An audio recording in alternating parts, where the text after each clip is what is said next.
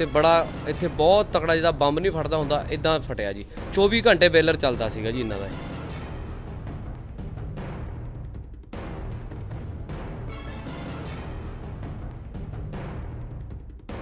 ਤੇ ਇੱਥੇ ਜੀ ਇੱਕ ਬੇਲਰ ਫਟਿਆ ਜੀ, ਫੈਕਟਰੀ ਦਾ, ਮੇਰੀ ਡੇਅਰੀ ਦੇ ਨਾਲ ਸੀਗਾ ਜੀ।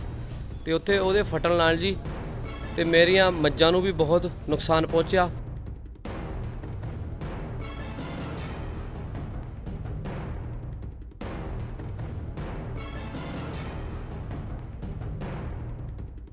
ਮੈਂ ਤੇ ਆਪਣੀ ਸਰਕਾਰ ਵੱਲੋਂ ਜੋ ਵੀ ਬੈਸਟ ਹੋ ਸਕਦਾ ਹੈ, ਅਸੀਂ ਪੀੜਤ ਪਰਿਵਾਰਾਂ ਦਾ ਇਲਾਜ ਵੀ ਕਰਾਵਾਂਗੇ ਔਰ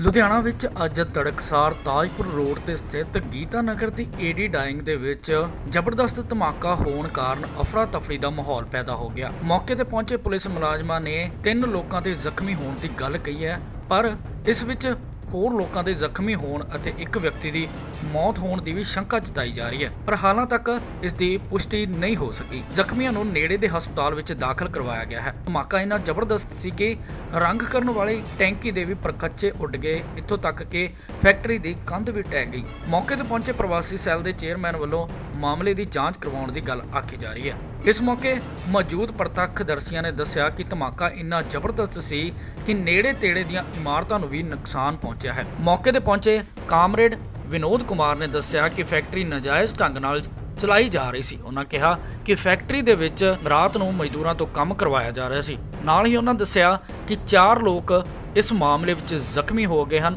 ਅਤੇ ਗਿਣਤੀ ਇਸ ਤੋਂ ਵੱਧ ਵੀ ਸਕਦੀ ਹੈ। ਮਾਮਲਾ ਕਿੰਨੇ ਵਜੇ ਹੋਇਆ ਤੇ ਕਿੰਨੇ ਬੰਦੇ ਜ਼ਖਮੀ ਹੋਏ ਆ? ਤੁਸੀਂ ਇਹਦੇ ਬਾਰੇ ਦਿਓ ਜਾਣਕਾਰੀ। ਮੇਰਾ ਨਾਮ ਬੋਵੀ ਜੀ ਤਾਜਪੁਰ ਰੋਡ ਗੀਤਾ ਨਗਰ 9 ਨੰਬਰ ਗਲੀ ਚੋਂ ਜੀ ਆਪਾਂ। ਤੇ ਇੱਥੇ ਜੀ ਇੱਕ ਬੋਇਲਰ ਫਟਿਆ ਜੀ ਫੈਕਟਰੀ ਦਾ ਮੇਰੀ ਡੇਅਰੀ ਦੇ ਨਾਲ ਸੀਗਾ ਜੀ। ਤੇ ਉੱਥੇ ਉਹਦੇ ਫਟਣ ਨਾਲ ਜੀ ਤੇ ਮੇਰੀਆਂ ਮੱਝਾਂ ਨੂੰ ਵੀ ਬਹੁਤ ਨੁਕਸਾਨ ਪਹੁੰਚਿਆ। ਇੱਕ ਗਾਈ ਨੇ ਬੱਚਾ ਵੀ ਸੱਟਤਾ ਤੇ ਉਹ ਲੈਂਟਰ ਸਾਰਾ ਫਟ ਗਿਆ ਜੀ। ਸਾਰੀ ਡੇਅਰੀ ਇੱਕ, ਇੱਕ ਪਾਸੋਂ ਡੈਮੇਜ ਹੋ ਗਈ ਪੂਰੀ। ਛੋਟੇ ਭਰਾ ਦੀ ਲੱਤ 'ਚ ਬੋਲੀ ਸੱਟ ਹੈ ਉਹ ਐਡਮਿਟ ਹੈ ਜੀ ਦੇਵ ਹਸਪੀਟਲ 'ਚ ਵਿੱਚ। ਤੇ ਦੂਜੇ ਦੋ ਤਿੰਨ ਬੰਦੇ ਹੋਰ ਜ਼ਖਮੀ ਨੇ ਜੀ ਤੇ ਬੜਾ ਇੱਥੇ ਬਹੁਤ ਤਕੜਾ ਜਿਹਦਾ ਬੰਬ ਨਹੀਂ ਫਟਦਾ ਹੁੰਦਾ ਇਦਾਂ ਫਟਿਆ ਜੀ। 24 ਘੰਟੇ ਬੇਲਰ ਚੱਲਦਾ ਸੀਗਾ ਜੀ ਇਹਨਾਂ ਦਾ ਇਹ। ਪਤਾ ਲੱਗਿਆ ਵੀ ਕਹਿੰਦੇ ਬੜੀ ਦੂਰ ਤੱਕ ਜਾ ਕੇ ਡਿੱਗੀ ਆ ਇਹ। ਇਹ ਕਾ ਬਹੁਤ ਦੂਰ ਤੱਕ ਡਿੱਗਿਆ ਜੀ ਜਾ ਕੇ ਕਾਫੀ ਕਿੰਨੇ ਕੁ ਫੁੱਟ ਤੇ ਡਿੱਗੀ ਜਾ ਕੇ ਮਸ਼ੀਨ ਇਹ? ਇਹ ਘੱਟ ਤੋਂ ਘੱਟ ਡਿੱਗੀ ਹੋਣੀ ਜੀ ਮੇਰੇ ਹਿਸਾਬ ਨਾਲ 2-300 ਫੁੱਟ ਤੇ ਜੀ। 2-300 ਫੁੱਟ ਇੰਨਾ ਤਕੜਾ ਧਮਾਕਾ? ਹਾਂ ਬਹੁਤ ਤਗੜਾ ਧਮਾਕਾ ਜੀ। ਕਿਤੇ ਕੋਈ ਹੋਰ ਚੀਜ਼ ਇੱਟਾਂ ਵੀ ਬੜੀਆਂ ਅੰਦਰ ਦੇ ਕ- ਕਮਰੇ ਤੱਕ ਦੀ ਭੰਨਤੇ ਮੇਰੇ ਜੀ ਇਹਨਾਂ ਨੇ। ਇਹ ਫੈਕਟਰੀ ਕਿਹਦੀ ਹੈ ਜੀ ਇਹ? ਇਹ ਫੈਕਟਰੀ ਵਾਲੇ ਦਾ ਨਾਂ ਨਹੀਂ ਮੈਂ ਜਾਣਦਾ ਜੀ ਕੀ ਹੈਗਾ। ਤੇ ਬਾਕੀ ਉਹ ਖੜੇ ਜੀ ਬਾਹਰ ਖੜੇ ਨੇ ਉਹ।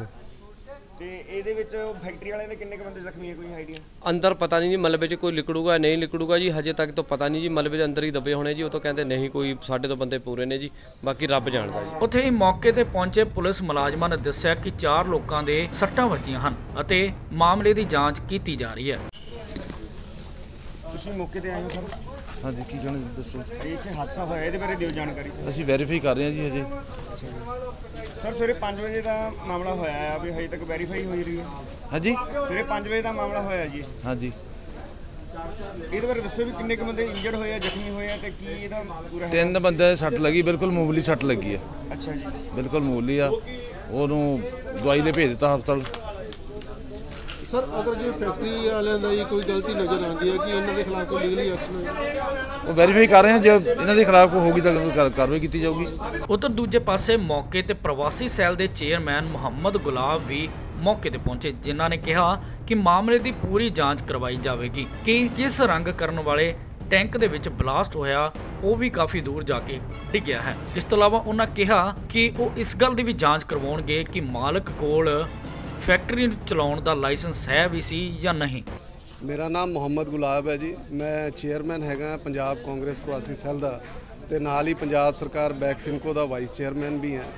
ਸਭ ਤੋਂ ਪਹਿਲਾਂ ਤਾਂ ਮੈਨੂੰ ਬੜਾ ਅਫਸੋਸ ਹੈ ਔਰ ਬੜੀ ਮੰਦਭਾਗੀ ਘਟਨਾ ਹੈਗੀ ਹੈ ਕਿਉਂਕਿ ਜਿਸ ਹਿਸਾਬ ਨਾਲ ਮੈਂ ਆ ਕੇ ਹੁਣੀ ਆਇਆ ਹੀ ਹਾਂ, ਕਿਉਂਕਿ ਅੱਜ ਤਿਉਹਾਰ ਵੀ ਹੈ, ਸਾਰੇ ਤਿਉਹਾਰ ਛੱਡ ਕੇ ਪਹਿਲਾਂ ਇੱਥੇ ਮੌਕੇ ਤੇ ਆਏ ਹਾਂ ਕਿ ਕੋਈ ਵੀ ਇਨਸਾਨ ਜੇ ਕਿਸੇ ਦੇ ਸੱਟ ਵੱਜੀ ਹੈ, ਪਹਿਲਾਂ ਅਸੀਂ ਉਹਦਾ ਇਲਾਜ ਕਰਾਵਾਂਗੇ।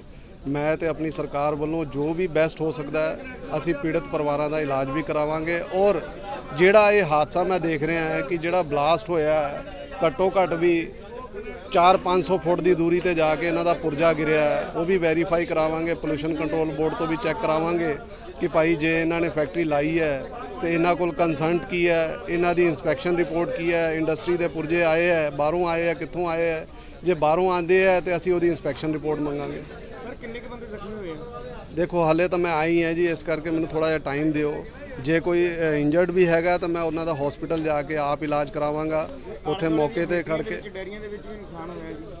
ਹਾਂ ਮੈਂ ਉਹੀ ਕਿਹਾ ਨਾ ਜੀ ਮੈਂ ਹੁਣੀ ਆਇਆ ਹੀ ਹਾਂ ਮੈਨੂੰ ਇੱਕ ਵਾਰੀ ਮੌਕਾ ਸਾਰਾ ਦੇਖ ਲੈਣ ਦਿਓ ਸਮਝ ਲੈਣ ਦਿਓ।